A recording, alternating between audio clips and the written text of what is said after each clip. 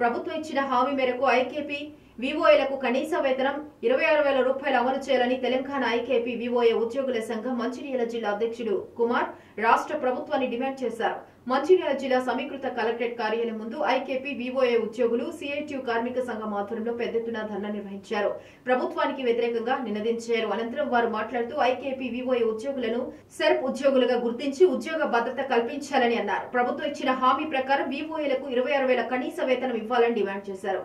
కేంద్ర రాష్ట్ర ప్రభుత్వాలు ప్రవేశపెట్టిన పథకాలను ప్రజలకు చేరవేసేందుకు నిరంతరం కృషి చేస్తున్న మాకు కనీసం పది లక్షల సాధారణ బీమా ఆరోగ్య బీమా సౌకర్యం కూడా లేదని వాపోయారు. జీవో నెంబర్ యాభై ఎనిమిదిని సవరించి వివోఏలకు మూడు నెలలు రెన్యువల్ పద్ధతిని రద్దు చేయాలని డిమాండ్ చేశారు. గ్రామ సంఘం గ్రేడింగ్తో సంబంధం లేకుండా ప్రతి నెల వేతనాలు వివోఏల వ్యక్తిగత ఖాతాలకు మళ్ళించాలని వారు తెలిపారు. ఐకేపీ వివోలో గ్రామీణ ప్రాంతాలలో పనిచేయడం జరుగుతుంది. అప్పటి నుండి చాలీ చాలీ వేతనాలతో పనిచేయలేకపోతున్నాం. ప్రతిదీ మా ప్రతి ప్రతి ప్రభుత్వ పథకాలను కూడా ప్రజల వరకు చేరవేసేది మేమే.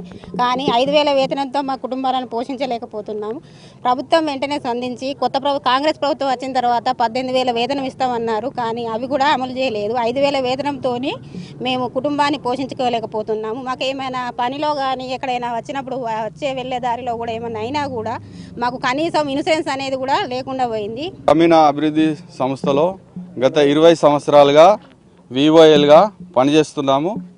మరి ప్రభుత్వం చూసుకున్నట్లయితే శ్రమ దోపిడీ విధానాన్ని మరి అమలు పరుస్తున్నారు మాకు కనీస వేతనం అనేటిది ఇవ్వడం లేదు. ఇరవై సంవత్సరాలు పనిచేసినా కూడా ఇరవై ఆరు వేల వేతనం సుప్రీంకోర్టు ఇవ్వాలని ఉన్నప్పటికీ ఆ వేతనం అమలు పరచడం లేదు.